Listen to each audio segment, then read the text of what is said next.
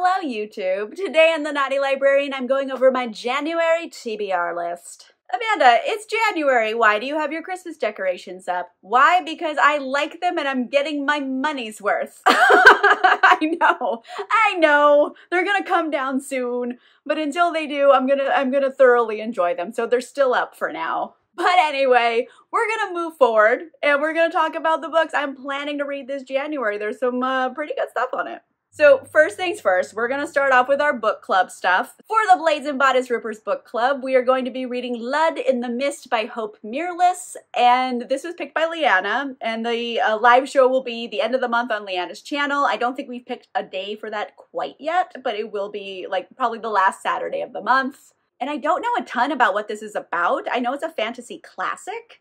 Um, it is, I think it came out in 1926, and basically there's this town called Lud and um, they make selling fairy fruit illegal, but that makes like a black market of fairy fruit happen.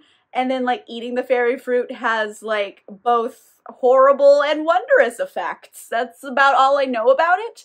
But it is OG fantasy, and that's kind of going to be our theme for the Blades and Bodice Rippers book club this year, OG23. We're going to go OG on each of our favorite genres of choice. So Leanna loves fantasy. We're going OG fantasy, Lud in the Mist. So I'm excited to read it. I'm hoping, hopefully it's going to be a good time. Who knows? It's gonna be fun. For my channel members and my patrons, we also have a book club, and this month we are going to be reading White Horse by Erika T. Wurth. This one won the poll over on my Patreon and my channel, so I'm really excited about this one. It sounds so cool. We're following Carrie, and she's a very thoroughly modern woman. I think I'd be friends with her. She sounds cool but um she is given like this bracelet that used to belong to her mother and this bracelet conjures up a whole lot of stuff a monstrous entity, the ghost of her mother. And now Carrie is in like this whirlwind of things and she has to figure out what happened to her mother and examine like all of these like dysfunctional family relationships. So it's a bit of a murder mystery. There's like a supernatural element in this. I think it's going to be really, really cool. I have been wanting to read this since I got it from Book of the Month. So I'm very excited to read it with all of my channel members and patrons this month.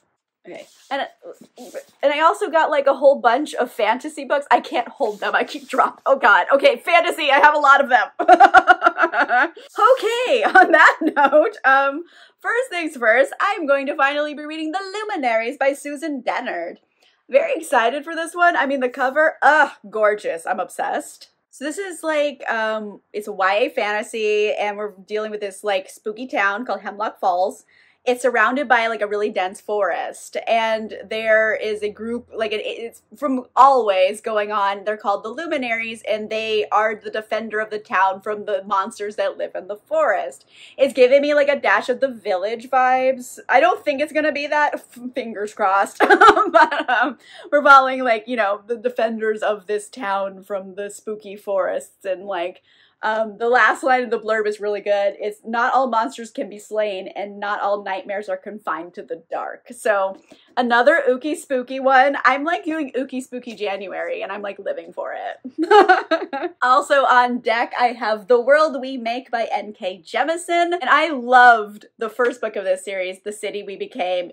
I loved it intensely. It was one of my best books of the year so good. And so I had to get this one. This is the sequel. So basically, here's the gist of this world.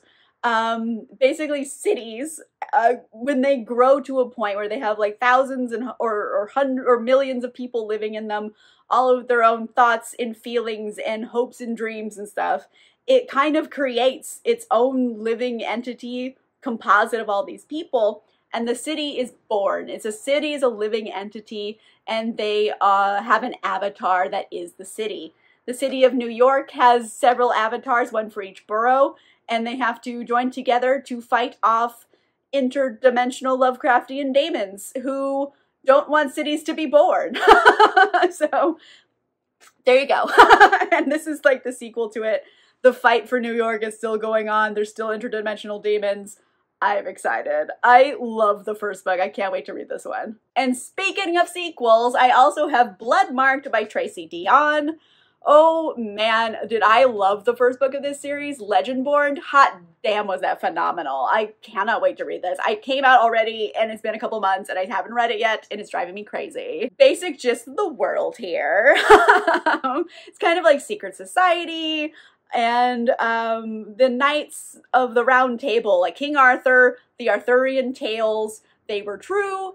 And Merlin was a heck of a wizard and he cast a spell basically that allows the original knights to become like avatars basically. Like um in their descendants. So whoever is the most recent descendant is now the avatar for this knight and um, they have to band together to fight off like evil demon stuff you know like who doesn't want to fight demons? but, um, oh boy, there's a lot of like cliffhangery stuff in the first book. I can't wait to get into it. It's an Arthurian legend retelling done so well. I'm obsessed. So very excited for this one. And I'm also going to be reading Sign Here by Claudia Lux.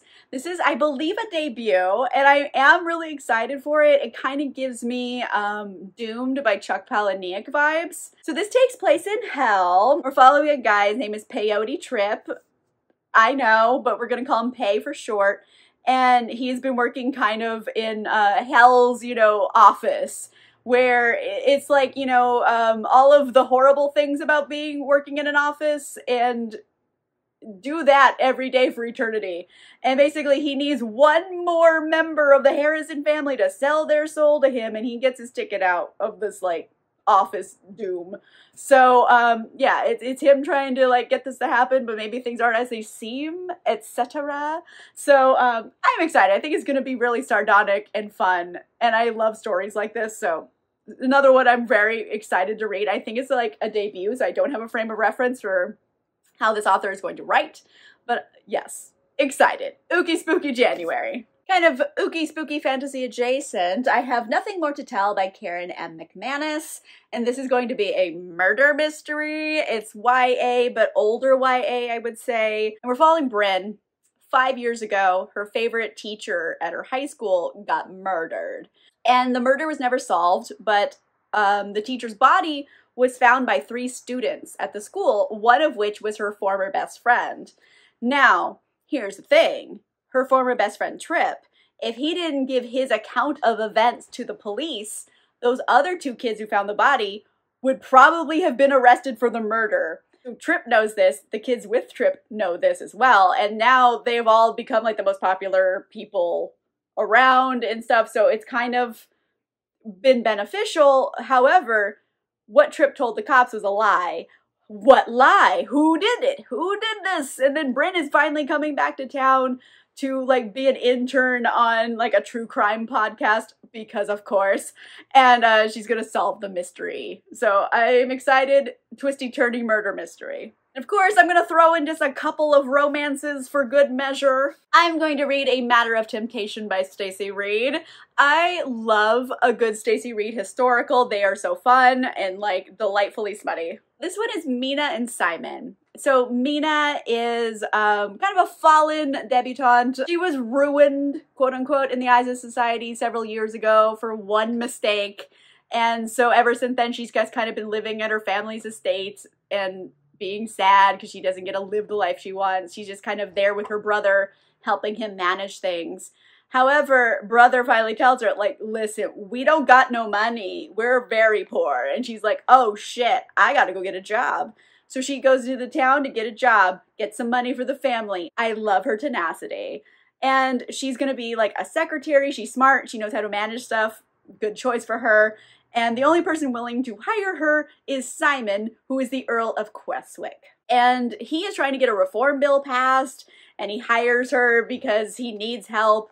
And um, she's also like feisty and funny and like has like great red hair he's really into. And, and like, you know, there's gonna be a lot of like long nights at the office, maybe secrets. And um, they're gonna fall in love for real. And I'm very into that. So, um, love that. So excited for this one. This is going to be my treat myself book. And last but not least, I'm also going to be reading Well Traveled by Jen DeLuca. This is her most recent entry in her Renaissance Fair romance series. This one is Dex and Lulu. These are two characters, like fan favorite characters. We wanting to see their happy ending, but I didn't. I didn't always put them together, but I love that for them.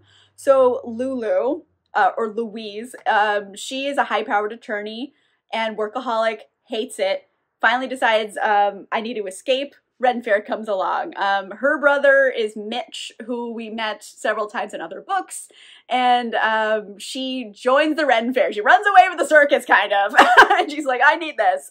And um, the only downside is Dex. Now, Dex, he is like the bad boy of the Renaissance Fair, where he like he's in like the band and he wears like a kilt sometimes, and like every you know like a girl in every town kind of guy and um, L- Lulu is kind of um, indifferent to his flirting, and he's like, I don't, um, I don't compute. like he doesn't understand why it's not working.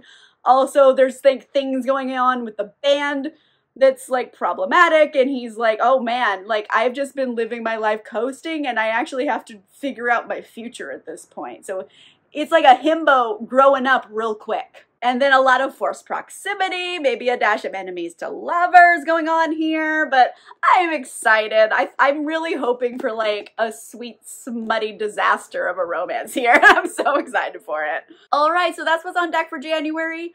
There are a lot of really like hot releases coming out in January, but I like never get to a hot release right away. It's never happened. so those will probably be in February. But in the meantime, I'm having an ooky spooky January and I'm feeling it. It's kind of winter. Everything's kind of gloomy. Like, let's read ooky spooky books. They don't only have to be for October. Let me know in the comments down below. Um, what are you reading for the new year? Do you have something? Do you have a reading goal in particular that you're super interested in? Let me know in the comments down below. If you like this video, make sure you give it a like. And if you want to see more videos, make sure you subscribe. And also, if you want cool exclusive content, including a book club and early access to videos, you consider becoming a channel member or a patron. The links for that are in the description down below. And on that note, I will see you guys soon. Goodbye!